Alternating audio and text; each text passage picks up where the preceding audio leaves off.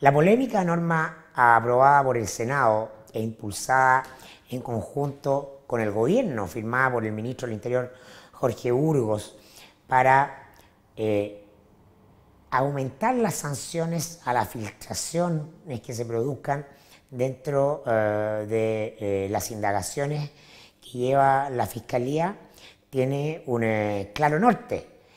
no se puede leer sino en el contexto de eh, lo que siente la clase política en medio de las indagaciones por los, casos de financiamiento irregular de las campañas y ahora sobre todo y de manera más grave por cohecho.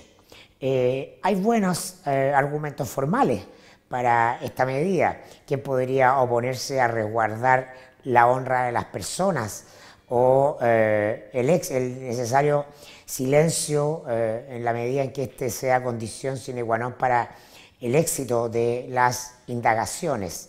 Pero en definitiva, lo que hay detrás de esto, eh, en la dermis dura, habitualmente dura de los políticos, eh, de la clase política, de la élite empresarial, es una suerte de capacidad de control de las sanciones judiciales la verdadera pena, la verdadera sanción a la que durante todo este tiempo se ha sometido el sistema político es al juicio público.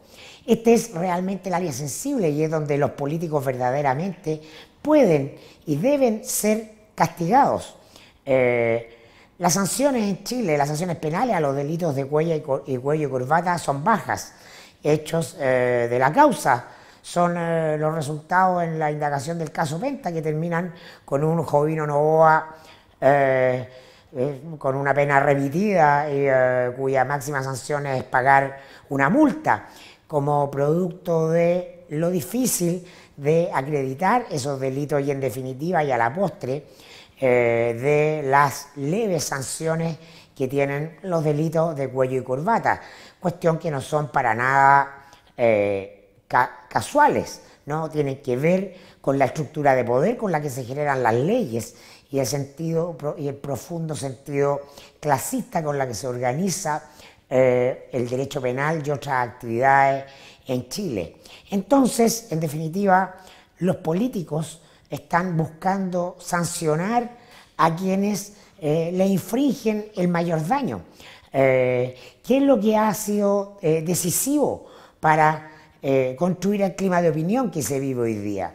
Que sepamos lo que dicen los mails entre los políticos y quienes los financian, la relación carnal entre Contese y Longueira, eh, la actitud de mendigos virtualmente que tenían eh, Moreira y Ana von Baer respecto de Choclo Délano. Y así podríamos seguir con una lista innumerable.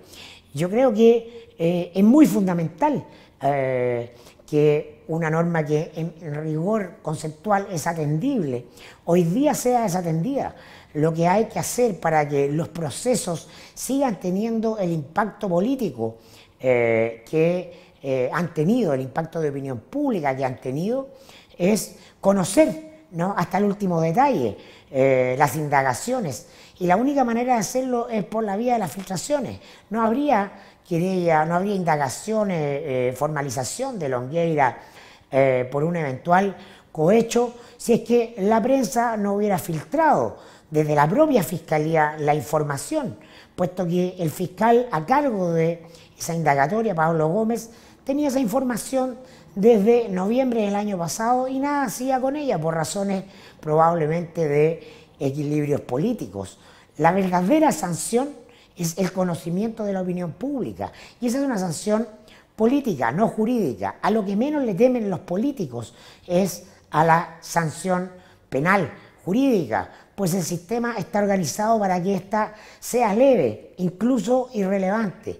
Y es ahí donde está instalada la atención y la verdadera razón detrás de esta polémica normativa.